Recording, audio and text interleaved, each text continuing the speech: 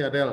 Uh, terima kasih Mas Romi, uh, Mbak Lita sudah bersedia hadir Sabtu-Sabtu, long weekend, menyempatkan hadir. Satu Mas Romi juga lagi sibuk ini soalnya uh, sebagian gedung LSF lagi bermasalah. Semoga teman-teman LSF juga tidak uh, mengalami luka sedikit pun, uh, sehingga tugas tetap berjalan. Mbak Lita juga pasti akan sibuk memantau teman-teman di di saya ingat betul kalau long weekend itu pasti udah perjalanan perjalanan itu acara liputan di tol itu menjadi sama menjadi sangat sering dan luar biasa. Uh, dan saya memulai uh, diskusi kita ini dengan dengan me, me, ber, memberikan apresiasi terutama kepada Mas Romi. Karena uh, kita tadi ketemu di Surabaya kalau nggak salah Mas Romi. Mungkin Mas Romi nggak ingat saya ketika sosialisasi undang-undang perfilman yang baru ya masalah dan kemudian ada sosialisasi mengenai peraturan uh, turunan undang-undang itu mengenai pembentukan LSF daerah dan Jawa Timur menjadi mungkin saat ini yang pertama dan satu-satunya LSF daerah ya kalau saya tidak salah dan itu juga nanti akan coba coba diskusikan dengan Mas Romi. Uh, dan ya apa yang disampaikan Mbak Lita, Mas Romi tadi betul. Kita berhadapan dengan audiens yang sudah sangat berbeda saat. Ini ini teman-teman yang hadir, mahasiswa yang hadir saat ini lahir ketika ketika saya masih 17 tahun atau atau ketika Mas Romi masih masih TK. Jadi ini ini mereka baru lahir ketika uh, kita ketika mereka mungkin tidak pernah tahu lagi ada ada ada judul film namanya Gairah Malam ke-40 ya, seperti itu. Atau ada judul film uh, kenikmatan yang tidak bisa tertunda hal seperti itu. Dan saya ingat betul kalau mengajak teman-teman ke Jakarta ke gedung LSF itu mungkin sebelum masa Mas Romi itu selalu memang yang dicokoki pertama kali lah tontonan uh, potongan-potongan itu Mas Romi. Jadi memang saya tiga kali sana tiga kali di, di pertontonan itu menjadi biasa pada ini. Uh, tapi betul, Mas Romi apa yang saya maksud itu menarik dan betul dan sekarang generasinya berbeda. Teman-teman itu mungkin merasa uh, uh, tidak tidak mengalami masa di masa ketika uh, lembaga sensor film itu sangat dominan. Baik ketika sensor praproduksi masa Orde Baru maupun sensor pasca produksi setelah setelah beberapa masa tersebut. Cuman patut saya akui uh, karena Mas Romi saya sebut saya sebagai Mas Romi ini dua periode sebetulnya ya. Artinya periode pertama sebagai juru bicara, periode kedua sebagai ketua dan mungkin nanti berhak dipilih sebagai ketua uh, lagi ya. Artinya uh, ada perubahan yang sangat sangat signifikan yang yang dilakukan oleh teman-teman LSF terutama terkait dengan proses uh, sensor film. Uh, kenapa saya masih menyebut sensor film? Karena secara normatif itu masih masih berlaku secara undang-undang. Cuman yang saya khawatirkan adalah apa yang perubahan paradigma yang terjadi sekarang ini itu sifatnya temporer. Karena apa? Saya akan diskusi lebih lanjut melalui slide saya. Temporer itu maksudnya apa? Mungkin di masa Mas Romi memang ada perubahan paradigma seperti itu. Dan dan memang saya melihat ada perubahan-perubahan yang berbeda ya. Paling tidak saya melihat film-film yang dulu ketika masa uh, Orde Baru atau setelah beberapa tahun beberapa saat setelah Orde Baru itu rasanya akan sangat mungkin sangat muskil kita lihat di, di bioskop seperti Marlina dengan membawa kepala ke mana-mana, kemudian uh, surat dari Praha, kemudian sang penari, hal-hal yang rasa-rasanya kalau di zaman dulu nggak bakal muncul di bioskop itu. Tapi di sisi lain, di zaman dulu kita sangat leluasa melihat Gairah Malam ke-40 di bioskop. Itu kan sebuah paradoks sebetulnya. Nah, Uh, perubahan paradigma ini, ini ada empat yang akan saya diskusikan dengan teman-teman di sini. Perubahan paradigma ini tentu kalau kita lihat secara normatif uh, merujuk kepada Undang-Undang Nomor 33 tahun 2009 dan PP Nomor 18 tahun 2014 serta turunannya Permendikbud Nomor 14 tahun 2019 itu memang menunjukkan sebuah pergeseran paradigma.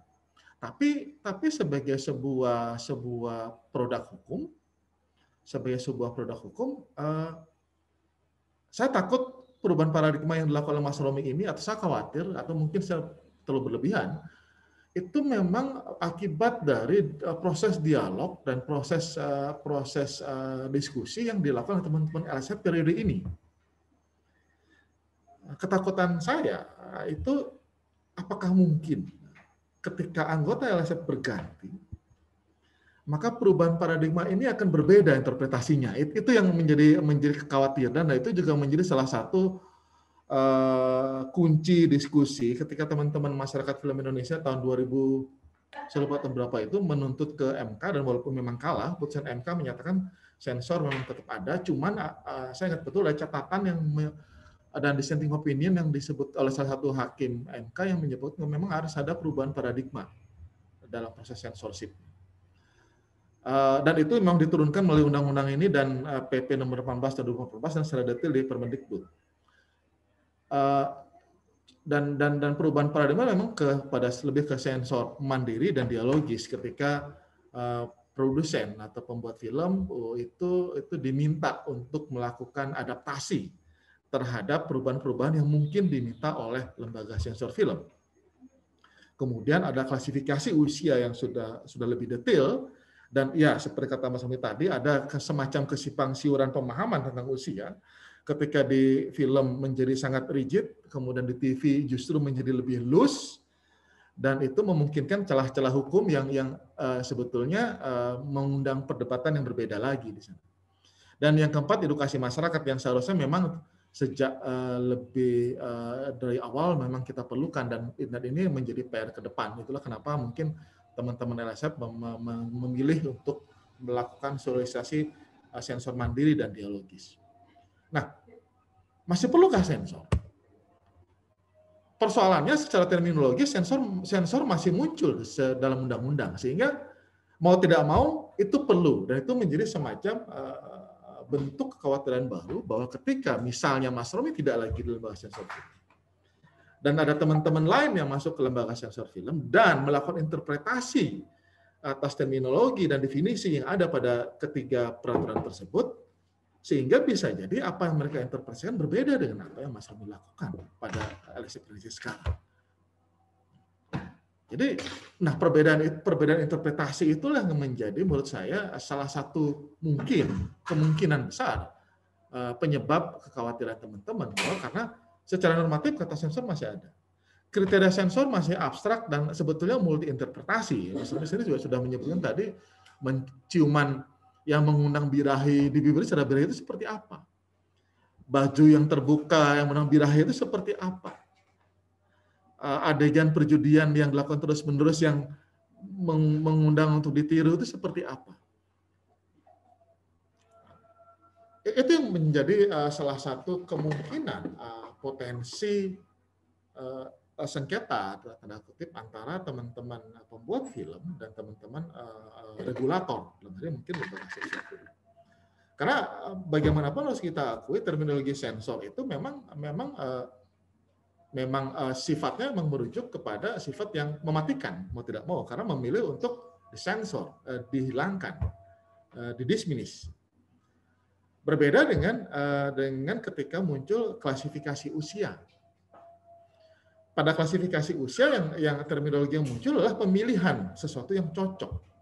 Tidak dihilangkan, tapi dipilihkan bahwa usia usia sekian uh, lebih tepat menonton dengan kriteria tontonan uh, seperti apa. Begitu seterusnya dua hal yang sebetulnya berbeda paradigma itu muncul di di undang-undang uh, yang mengatur soal sensor. Namun balik lagi, terminologi sensor masih ada Uh, yang keempat akan saya bahas nanti. Misal begini, uh, ini saya menyangkut soal uh, kriteria sensor yang abstrak dan multi interpretasi tadi. Pada Permendikbud yang sangat turunan turunan turunan peraturan yang memang sangat uh, sangat apa ya uh, uh, sangat harusnya praktikal itu saya garis bawahi beberapa kata-kata yang yang berasal dari definisi dari pasal 8 tersebut. Untuk kekerasan perjudian narkotika di Indonesia itu disebutkan mengandung, mengandung kekerasan, mengandung perjudian, mengandung narkotika, mengandung artinya artinya tidak keseluruhan eh, produk itu dilihat. Artinya sedikit saja mengandung kekerasan yang dianggap eh, sesuai dengan kriteria kekerasan pada Permendikbud ini, maka dia akan itu tadi dianggap disensor, akan disensor. Karena ini menyangkut soal sensor pasal-pasal ini muncul sebelum pasal-pasal klasifikasi. Nah, ini yang menarik untuk didiskusikan juga. Berbeda dengan pornografi, dia bicara keseluruhan isi. Berbeda dengan persoalan sara, dia bicara keseluruhan isi. Berbeda dengan dengan agama. Dia bicara urusan isi dan hukum juga sudah isi. Artinya, ketika kita bicara poin B, C, D, E, multi interpretasi itu menjadi lebih longgar lagi bahwa ketika oh ini tanpa melihat salah satu unsurnya, film ini sebuah film atau sebuah produk film bisa dikategorikan sebagai pornografi atau mengundang sara atau atau eh, mengundang uh, apa uh, pelecehan terhadap agama atau mengajak orang-orang untuk melanggar hukum. Ini menjadi lebih loose. Sementara pada bagian A itu hanya segmen-segmen tertentu yang dipersoalkan. Sementara pada B, C, D, E dia menjadi lebih luas. Artinya apa? Ketika lembaga sensor film nanti diisi oleh teman-teman yang interpretasinya berbeda dengan dengan Mas Romi dan kawan-kawan pada periode ini, maka aturan hukum inilah yang akan menjadi kekuatan hukum buat teman-teman LSF untuk saya lagi melakukan sensor. Kenapa tidak melakukan klasifikasi? Karena pasal klasifikasi muncul setelah pasal sensor. Jadi film dan iklan film yang telah disensor disertai pencantuman kode penggulungan usia penonton berupa sekian sekian sekian. Artinya apa? Proses sensor itu berjalan terlebih dahulu baru dengan memasukkan kode penggulungan usia. Nah, ini mungkin Mas Romi bisa memberikan pencerahan. Nah, karena saya terus terang personally, uh, saya bukan pembuat film, uh, jadi saya tidak bisa menyebutkan saya mewakili unsur pembuat film di sini. Namun saya juga menonton beberapa film, walaupun saya lima tahun di Australia karena kuliah, saya menonton beberapa film sama saya pulang, dan itu menurut saya, wah ini paradigmanya udah berubah sekali nih. Saya bisa menonton Marlina itu dengan sangat leluasa di bioskop. Saya menonton Buffalo Boys itu sangat luar, luar biasa di bioskop. Mungkin tidak akan muncul sebelum periodenya Mas Remi, mungkin tidak akan muncul dalam film ini. Atau akan banyak potongan yang tiba-tiba jumping, atau tiba-tiba muncul muncul apa ombak atau bulan tiba-tiba seperti itu yang kalau di zaman lama ya kalau orang berciuman tiba-tiba tiba-tiba ada bulan muncul atau tiba-tiba ada adegan ombak muncul di pantai.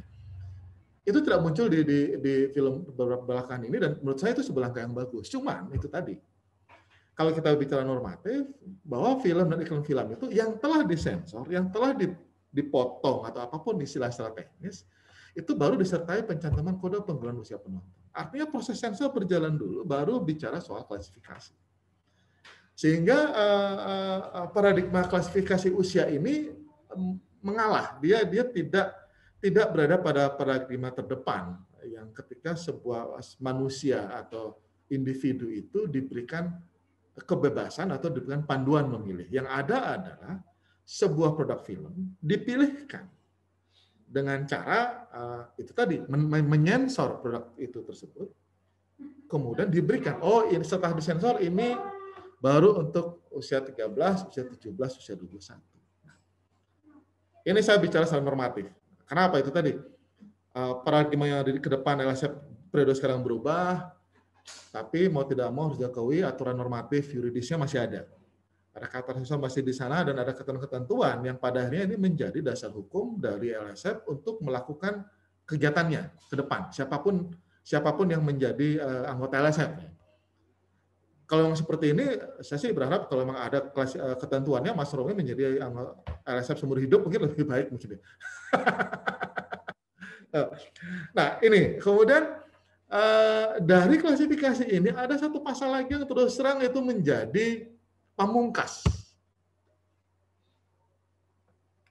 Film dan iklan film yang sudah lulus sensor dapat ditarik kembali dari peredaran oleh Menteri berdasarkan pertimbangan LSF ini ini ini pasal pasal pamungkas yang menurut saya ini akan mengundang potensi persoalan juga ke depannya. Dan mungkin sekarang bibit-bibit itu sudah ada. Mungkin saya akan bahas di berikutnya. Bahwa sebuah film dan iklan film yang sudah lulus sensor dapat ditarik dari peredaran oleh menteri.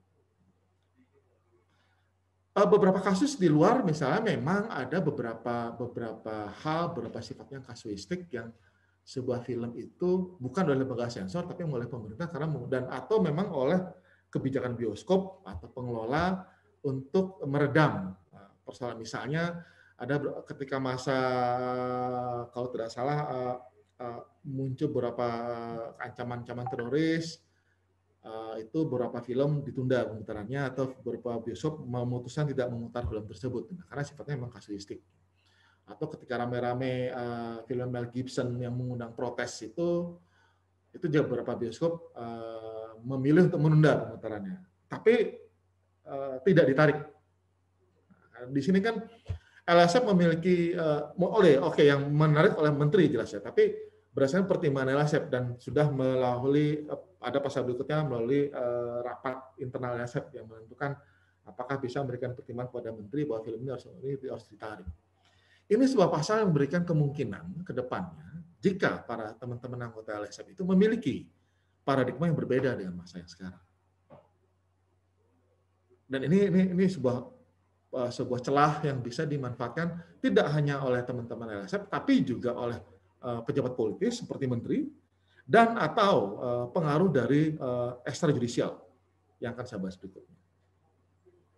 Saya ini sebetulnya kalau kita bicara normatif dari sensor, terlepas dari usaha teman-teman LSF yang sudah melakukan banyak perubahan dan saya pikir juga berapa, saya yakin teman-teman filmmaker juga sebetulnya misalnya begini, tidak akan membuat film porno buat tayangan anak-anak.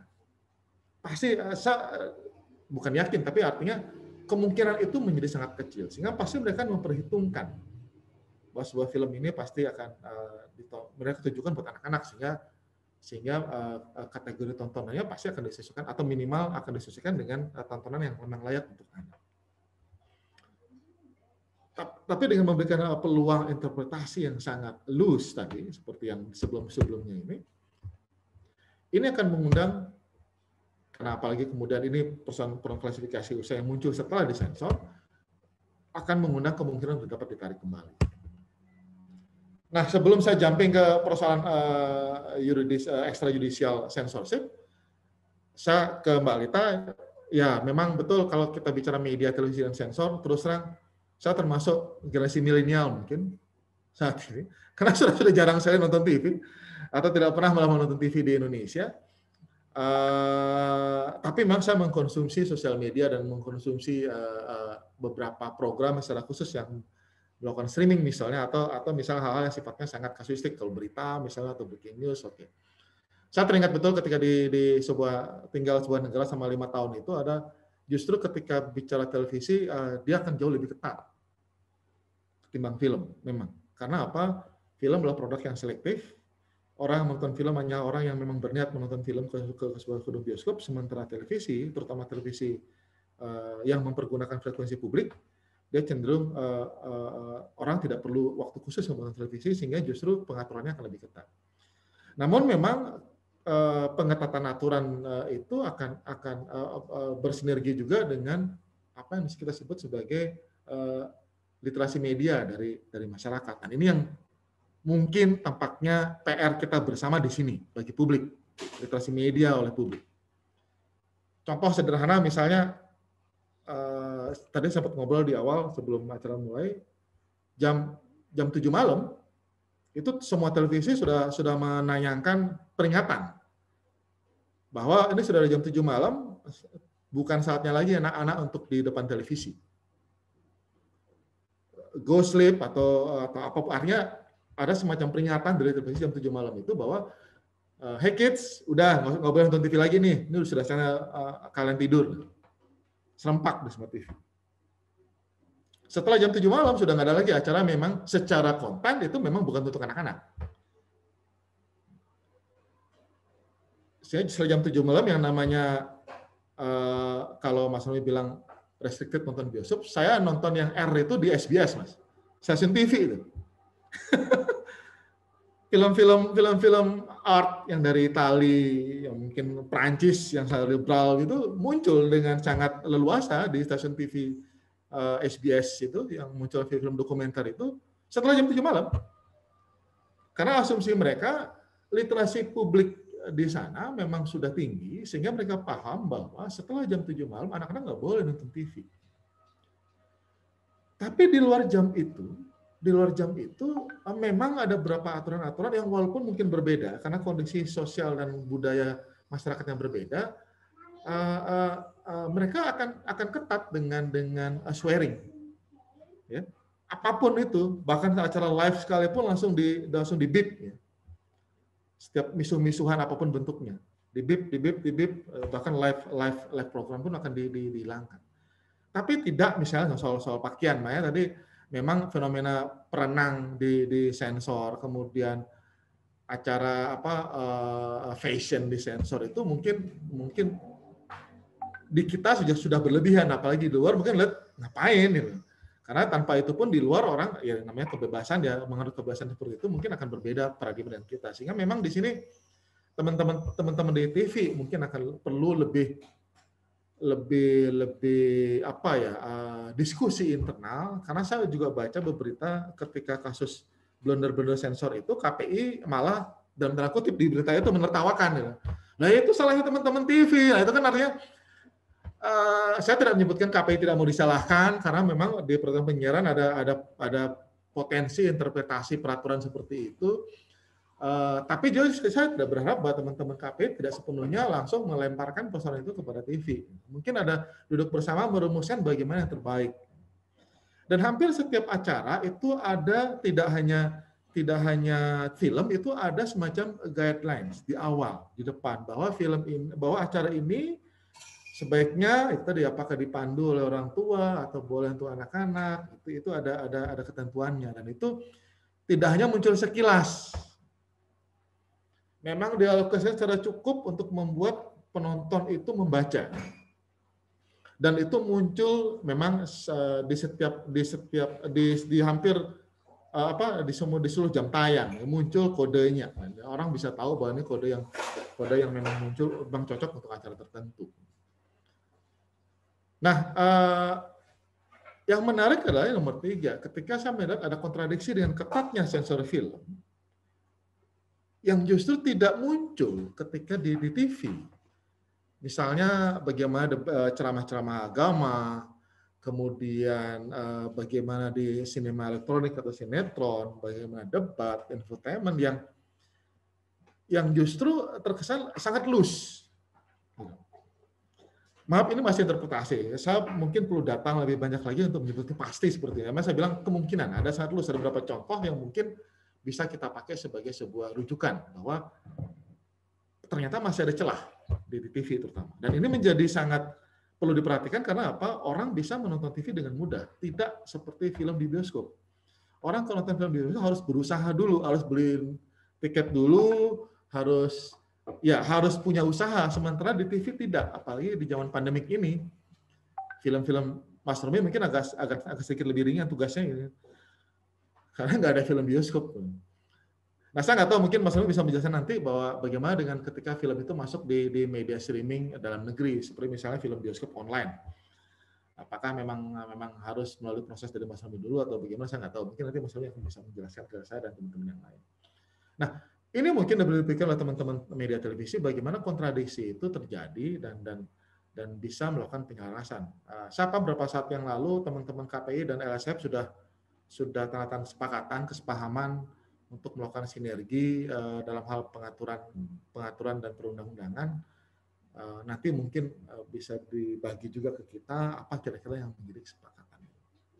Nah, ini yang sebetulnya kekuatan terbesar saya juga bahwa ada extrajudicial censorship. Ada cara-cara yang dilakukan oleh orang-orang atau pihak-pihak tertentu memanfaatkan celah-celah hukum dan juga ke apa ya ketidakpastian mungkin uh, peraturan perundang-undangan yang yang memungkinkan teman-teman di luar itu melakukan itu. Ketika kecumbu tubuh indahmu itu masuk ke bioskop itu menurut saya sudah terobosan besar sekali. Tapi menjadi sebuah pertanyaan besar ketika misalnya banyak orang yang menolak, yang bahkan mereka belum menonton film itu, dan diikuti oleh pemerintah daerah. Dan itu yang menarik. Pemerintah daerah melakukan sensor terhadap film yang belum mereka tonton. Uh, saya membaca karena waktu saya tidak berada di tempat, tapi saya membaca bahwa teman-teman LSF sudah melakukan penjelasan bahwa itu sudah lulus sensor, sudah artinya kewenangan LSF sudah menyatakan bahwa itu tidak ada persoalan sebetulnya. Tapi ketika pemerintah daerah menggunakan kewenangan yang dia miliki, itu kan menjadi persoalan baru, termasuk ketika memunculkan LSF daerah. Jawa Timur sejauh ini belum ada atau tidak ada uh, masalah waktu itu yang saya tahu. Nah, kewenangan LSF daerah ini yang perlu atau mungkin itu menjadi semacam pemikiran di Mas Romi bahwa uh, kami, kalau saya personally akan menakutkan bahwa LSF daerah dikhawatirkan menjadi cara menjustifikasi dengan dengan alasan misalnya, oh film ini uh, tidak layak untuk untuk ditonton oleh masyarakat dengan struktur norma dan struktur budaya kami karena kan LSF daerah diberikan kewenangan untuk eh, menyesuaikan dengan uh, atau melindungi uh, sosial budaya masing-masing. Nah, saya khawatir kalau itu diinterpretasikan atau dipergunakan interpretasi itu untuk melakukan atau membenarkan sensor ekstrajudisial itu. Misalnya bisa jadi, misalnya kalau let's say, ya mungkin karena Jawa Timur satu-satunya dan pertama ya, let's say misalnya di Aceh atau misalnya di Bali, misalnya karena alasan melindungi budaya mereka, maka mereka alasan itu melarang sebuah film atau menolak film ini ditayangkan atau menganggap film ini tidak lulus sensor dengan klausul uh, tidak uh, atau tidak sesuai dengan norma dan budaya masing-masing. Apakah mungkin bisa terjadi peluang itu? Ya terus terang mungkin uh, saya berharap Pak Helmi bisa bisa memberikan pencerahan kepada kita. Ya. Kalau memang kalau memang tidak, mungkin ya saya bersyukur. Artinya apa yang menjadi keputusan LSF di pusat itu itu adalah menjadi sebuah keputusan yang final bahwa uh, LSF daerah tidak punya kewenangan untuk melakukan uh, uh, veto kompli atau atau atau tidak melakukan keputusan LSF pusat. Karena jangankan LSF Pem, Pemda Pemkot saja kan sekarang kecenderungannya sedang sudah sudah begitu.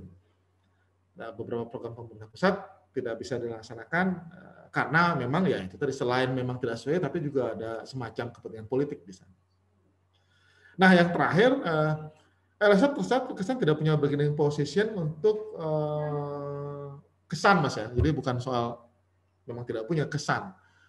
Uh, ketika beberapa teman-teman filmmaker mengeluh bahwa mereka yang harus berhadapan dengan masyarakat ketika uh, ketika misalnya menghadiri pemutaran film mereka di daerah ya teman-teman uh, ormas atau pihak-pihak yang melakukan uh, extrajudicial censorship dengan cara apa pun itu misalnya yang jelas mendemo bioskopnya kemudian menghalangi orang masuk. Mendemo bioskop saja sudah memberikan kesan orang akan takut datang ke bioskop. Itu itu bagian dari sebuah censorship juga sebetulnya. Itu tidak punya uh, uh, pilihan ketika akhirnya sang filmmaker yang harus menjelaskan kepada orang yang tidak pernah menonton filmnya itu kan ironisnya di sana juga gitu. Uh, dan itu memang problemnya memang lebih banyak di masyarakat. Tapi kenapa LSF saya di sini? Karena memang LSF menjadi pihak yang uh, dalam hal ini secara normatif menjadi harapan teman-teman filmmaker. Termasuk juga dengan kalangan uh, pemerintah, aparat pemerintah. Ini ada yang ada ada ada ada bidang yang masih mungkin perlu menjadi PR teman-teman LSF atau teman regulator. Misalnya film-film yang dibuat oleh uh, uh, uh, NGO atau komunitas film yang diputar untuk publik. Apakah itu akan uh, akan harus semua dilakukan sensor dokumenter misalnya atau tidak ketika mereka melakukan pemutaran di film? Karena sering kali beberapa beberapa produk audiovisual, dokumenter terutama yang terkait dengan eh, secara ideologis itu berhadapan dengan aparat daerah, aparat keamanan, maaf, aparat keamanan di daerah atau di pusat. Uh, ada beberapa dari mereka memberikan alasan bahwa ini film ini belum lulus sensor. Tapi ada klausul juga sebetulnya bahwa ini film bukan untuk tayangan komersil, ditayangkan secara terbatas, kemudian dengan audiens yang memang terbatas di komunitas misalnya atau di, di ini sebuah masih sebuah sebuah teritori yang belum punya uh, aturan, bukan belum punya aturan, belum tersentuh secara langsung oleh aturan. Nah, mungkin Mas Nuri nanti bisa memberikan uh, pencerahan atau insight kepada kita uh, bagaimana bagaimana teman-teman pembuat film dokumenter yang mereka memang ingin membuat atau mungkin film fiksi pendek yang ingin membuat pemutaran Sementara ada potensi celah aturan di sana yang yang bisa jadi uh, akan dimanfaatkan. Tidak ya mungkin oleh kedua belah pihak. Cuma sekali lagi karena itu tadi karena aturan uh, sensor apakah masih masih perlu? Dia masih ada. Karena aturannya memang masih ada menyebutkan kata sensor. Dan dan peradilan terakhir di MK waktu itu memang sudah menyebutkan sensor masih masih di, dianggap sah secara hukum. Mau tidak mau itu yang pra, uh, tertinggi yang harus diikuti itu uh, kira-kira kemudian sehingga persoalan ke depannya saya sepakat dengan Mas Romi uh, itu tadi literasi sinema itu penting. Uh, dididik publik juga yang ini mengarah kepada literasi media di televisi misalnya bagaimana tidak menyerahkan anak-anak sepenuhnya kepada televisi menjadi orang tua kedua. Ini karena nggak punya ini ya udah nonton TV aja lah lihat sinema juga begitu uh, kalau filmnya memang sudah sudah sudah dikategorisasikan. Uh, dewasa itu ya jangan sampai anak-anak ikut menonton. Harusnya begitu sehingga pengawasan bioskop juga penting di sini. Memang kalau di luar misalnya beberapa film yang di sini termasuk golongan remaja atau atau usia kalau di luar itu masuknya uh, eh, PG jadi anak-anak boleh nonton asal orang tuanya ikut nonton Nah, itu kan yang jadi uh, persoalan karena uh, artinya uh, proses manu, manusia sebagai sebuah individu yang dewasa dan berpikir itu dilatih di sana. Sementara di, di kita kesannya masih belum karena masih ditentukan harus lepas lulus sensor dulu baru diberikan klasifikasi usia. Dan PR yang lain adalah transnational streaming services itu nanti uh, bagaimana dengan Netflix, bagaimana bagaimana dengan Disney Plus dan bagaimana HBO Max hal yang sifatnya transnasional, bagaimana pengaturan ke depan itu mungkin masih belum belum belum belum dan masih harus kita pikirkan ke depan. Termasuk teman-teman di televisi nanti mungkin harus benar-benar mengubah strategi ke depannya untuk menarik kembali uh, penonton dengan ini. Terus terang kalau di luar masih banyak menonton televisi karena memang beberapa acara memang sangat menarik buat gitu. Saya personally masih menonton acara TV di luar, terutama itu di ABC dan SBS tapi di sini terus terang saya masih belum menonton TVRI. Dan apalagi TV yang lain itu masih masih belum. Mungkin nanti. Dan terakhir adalah lembaga klasifikasi. Saya ingat uh, sebuah diskusi di Bandung kalau tidak salah bahwa teman-teman anggota LSF malah uh, saya sepakat LSF dibubarkan, diganti dengan lembaga klasifikasi. Kalau tidak salah itu diskusi buku, diskusi buku tentang censorship ada statement dari salah satu lembaga, saya, saya setuju kalau lembaga sensor film dibubarkan, tapi diganti dengan lembaga klasifikasi. Nah, masalahnya memang peraturan kita secara normatif masih menyebutkan lembaga sensor film. Apakah ke depan akan bisa berubah menjadi lembaga klasifikasi yang yang kita punya panduan yang lebih detail untuk mengklasifikasikan sebuah film? Itu mungkin PR uh, eh, Mas Romi dan mungkin teman-teman di sini, generasi sekarang yang yang mungkin menontonnya sudah tidak lagi di bioskop, tapi sudah di depan komputer seperti Adele dan kawan-kawan. Itu dari saya, Adele. Terima kasih.